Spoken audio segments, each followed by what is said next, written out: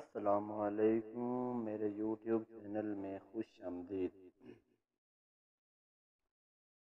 आप अपने मौसम सरमा की अलमियारी में ग्लेमर का एक टच शामिल करना चाहते हैं तो एक गल्त पर जैकेट या कोट पर गौर करें। ये न सिर्फ़ आपको आरामदाह रखेगा, बल्कि ये एक बयान भी देगा। आप इसे चमड़े की पतलून या बीड़ी अस्करट के साथ एक तेज़ और नफीस नज़र के लिए स्टाइल कर सकते हैं।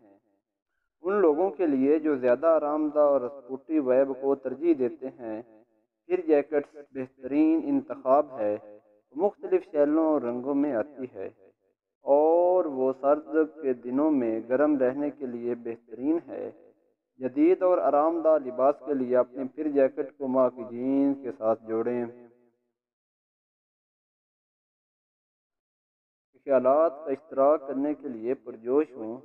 जो जवाब आपको पूरे मौसम में गर्म और सजीला रखेंगे, आए सीधे अंदर।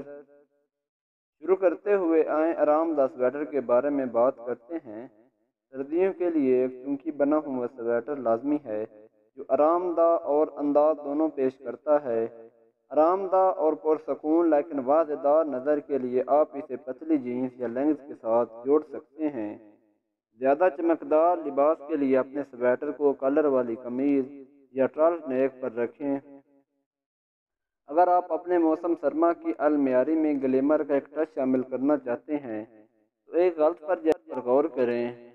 ये न सिर्फ़ आपको आरामदाह रखेगा, बल्कि ये एक टच भी शामिल करेगा। उन लोगों के लिए जो ज़्यादा आरामदाह स्कूटी वैब को तरजीह देते हैं, फिर जैकेट बेहतरीन इंतखब है मुख्तलिफ़ रंगों में आती है और वो सर्दी के दिनों में गर्म रहने के लिए बेहतरीन है। जदीद और आरामदा लिबास के लिए आपने फिर जैकेट और माँ की जीन्स के साथ जोड़ें। मौसम सरमा के लिबास में लौजमात अहम करदार अदा करते हैं।